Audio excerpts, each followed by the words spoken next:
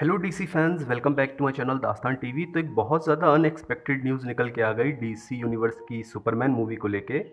तो रिपोर्ट्स निकल के आ रही हैं कि Pruitt Taylor Vince Pa Kent यानी कि जो फादर रहेंगे क्लार्क केंट के अर्थ वाले फादर उनका रोल ये प्ले करेंगे। ये न्यूज़ कन्फर्म होके निकल के आ गई है।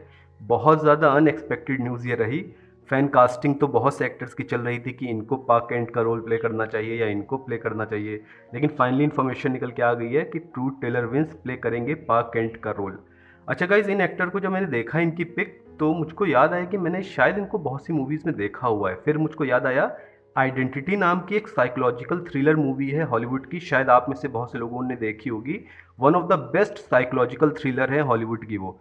तो उसमें इन्होंने विलन का रोल प्ले किया था। प्लस इन्होंने कॉन्स्टेंटीन मूवी में भी रोल प्ले किया है, द वॉकिंग डेड फ्रेंचाइज में भी ये नज़र आए हैं। यानी ढेर सारे डिफरेंट जॉनरा के प्रोजेक्ट्स में इन्होंने वर्क किया हुआ है एक्टर बहुत ज़्यादा कमाल के हैं ये। अच्छा एक और चीज़ ये जो पिक है इनकी, ये पिक बहुत ज़्यादा वायरल की जा रही है इस वक्त सोशल मीडिया पे, कि ये एक्टर अब पाक एंड का रोल प्ले करेंगे। तो बहुत से लोग ये कंफ्यूज हो रहे हैं कि ये तो इतने ज़्यादा बूढ़े भी नहीं लग रहे हैं तो ये कैसे सुपरमैन के फादर का रोल प्ले करेंगे? तो गाइज़ मैं बता दूँ, ये जो इनकी पर्टिकुलर पिक है, ये दरअसल पुरानी पिक है। आई थिंक 2002 या 2003 की ये पिक है। इनकी लेटेस्ट पिक ये रही।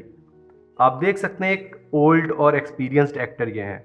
तो ये कहा जा रहा है कि Pruitt Taylor Vince role play करेंगे पाकेंट का डीसी यूनिवर्स की सुपरमैन मूवी में।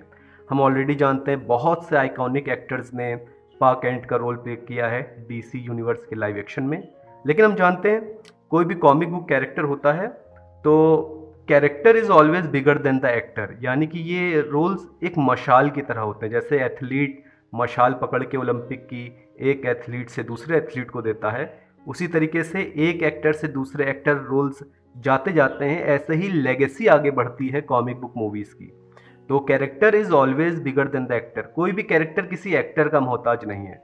अगर कोई आके ये कह रहा है कि ये एक्टर अगर ये रोल प्ले नहीं करेगा तो मैं ये मूवी देखना बंद कर दूँगा और बॉयकआउट करूँगा या ये डायरेक्टर इस मूवी को डायरेक्ट नहीं करेगा तो मैं मूवीज़ देखना छोड़ दूँगा इस यूनिवर्स की और इसकी मूवीज़ को बॉयकआउट करूँगा। ये बहुत ही ज़्यादा गलत थिंकिंग है, क्योंकि character is always bigger than the actor अच्छा गाइज़ मैं एक चीज़ आपसे पूछना चाहूँगा कमेंट सेक्शन में ज़रूर आप जवाब दीजिएगा। आप किस तरीके का डायनेमिक चाहते हैं डीसी यूनिवर्स के सुपरमैन में? जैसे कि हमने कई बार देखा है कि कुछ वर्जन्स में हमको ये दिखाया गया है एनिमेशन कॉमिक या लाइव एक्शन कि जो पाक एंट होते हैं, उनकी डेथ हो जाती है। और बाद में सुपरमैन उनकी कही हुई बातों को फॉलो करता और एक सुपर हीरो बनता है। लेकिन कुछ वर्जन्स में हमको ये भी दिखाया गया कि क्लार्क एंड सुपरमैन बन चुका है, यानी वो क्राइम फाइटिंग करने लगा है। तब भी उसके मदर फादर जो अर्थ वाले हैं, दोनों ज़िंदा हैं। तो वहाँ पे एक डिफरेंट टाइप का डायनेमिक दिखाया जाता है कि वो सुपर हीरो भी है और वापस वो स्मॉलविल लौट के भी आता है अपने दोनों पेरेंट्स से मिलने।